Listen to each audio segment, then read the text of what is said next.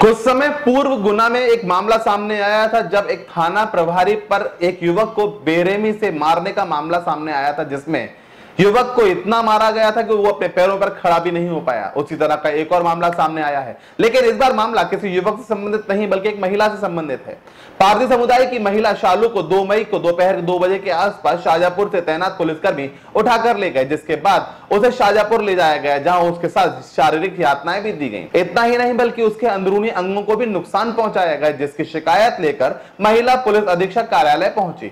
महिला ने गंभीर आरोप लगाए और बताया कि किस तरह से शाहजहापुर पुलिस ने उसे यातनाएँ दी और उसके शोषण करने की भी कोशिश की गई। महिला ने बताया कि जिस समय उसके साथ चार चार पुलिसकर्मी मारपिटाई कर रहे थे, उस समय थाने में कोई भी महिला पुलिसकर्मी मौजूद नहीं थी। वहीं उक्त महिला ने यह बताया कि उसे घर से हाथ पकड़कर एक पुरुष पुलिसकर्मी लेकर गया। महिला ने यह भी बताया कि उसके साथ पिटाई कर उसे ज़बरदस्ती एक वीडियो भी बनवाया गया। जिस वीडियो में पुलिसकर्मियों की आपसी कलेश सामने आ रही है, महिला ने बताया कि किस तरह से शाहजहापुर में पदस्थ पुलिसकर्मियों ने गुना में पदस्थ एक पुलिसकर्मी के खिलाफ महिला से बयान लेना चाह रहे थे, जिसके लिए उसके साथ मारपिटाई की गई। अब देखने लायक होगा कि किस तरह से पुलिस प्रशासन महिला के साथ इस बर्बरता के खिलाफ उक्त पुलिसकर्मियों पर कोई सजा देता है या फिर कार्रवाई को यूँ ही रफा दफ़ा कर दिया जाएगा, जिस तरह से पूर्व थाना प्रभारी के साथ कर दिया गया था।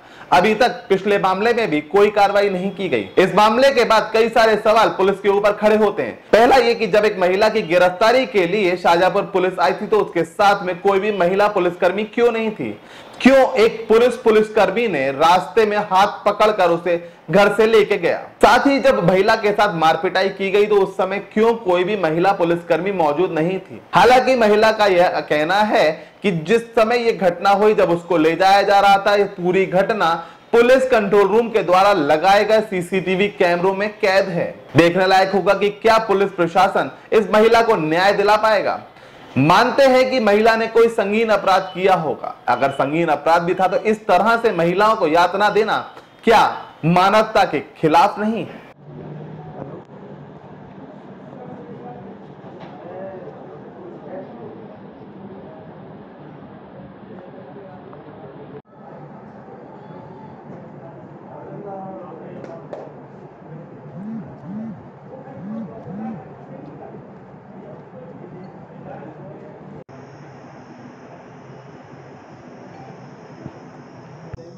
तारीख को मतलब मैं अपने घर पे थी।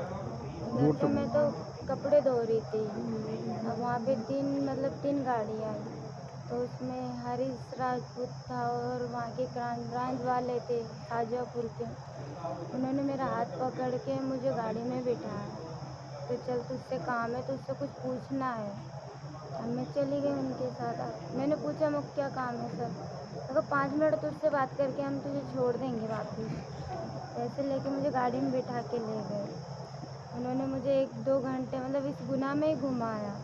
फिर उसके बाद वो मुझे डायरेक्ट शाहजहाँपुर ले गए। वहीं पे ले गए। वहाँ पे जिस दिन गए, उस रात को तो मुझे वहाँ की कोतवाली में सुला दिया। फिर उसके सुबह नौ बजे मुझे लेके गए। ब्रांच ब्रांच वाले उनके वहाँ पे ऑफ़िस पे फिर उन्होंने मुझसे पूछताछ करी। उन्होंने मुझे कहा हम तुझे जो बोलेंगे तुझे वही बोलना पड़ेगा। तो मैंने कहा, सर, मुझे क्या बोलना पड़ेगा? तुझे ये बोलना पड़ेगा कि टोनी नीरजेगा उसके बारे में तुझे ये बोलना पड़ेगा कि मतलब तू जितना भी सोना किसी, किससे भी लेती है, किसी से भी वो करती है, वो सोना तो टोनी की, टोनी को देती है और टोनी आगे चल के बेचता है। ऐसे मुझे वो कहने लगे, तुझे ऐसे बोलना पड़ेगा, मैंने मना कर दिया, मैं नहीं बोलूँगी। तो उतने में उन्होंने मारपीट चालू कर दी। मुझे मारा पीटा मतलब तीन दिन तक ऐसे मतलब करा। फिर वही मतलब उन्हीं के ही टोनी के ही बस बारे में मुझे टॉर्चर करते रहे। मेरे पैरों पर पैर रख के मुझे मारा गलत सलत जगह हाथों भी लगाए उन्होंने। तो लेडीज़ पुलिस नहीं थी वहाँ? लेडीज़ पुलिस नहीं थी। उन्होंने मतलब गलत सलत थोड़े लगाए थे। तीन दिन तक मुझे मारा। एक ही बात करते रहे तुझे ये कर देंगे फंसा देंगे ऐसे कर देंगे तू बता दे।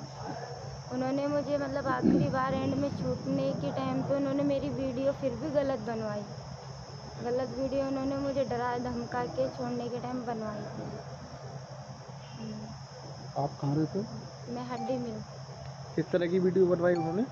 उन्होंने ऐसे बोला कि अब तू छूट तो रही है तुझे ये बोलना है उन्होंने मुझे ऐसे बुलवाया कि तू मतलब मैं जितना भी सोना लेती हूँ, किसी से भी लेती हूँ, कहाँ से भी लेती हूँ, मैं टोनी के हाथ से बिकवाती हूँ। उन्होंने वैसी वीडियो मुझसे बनवाई।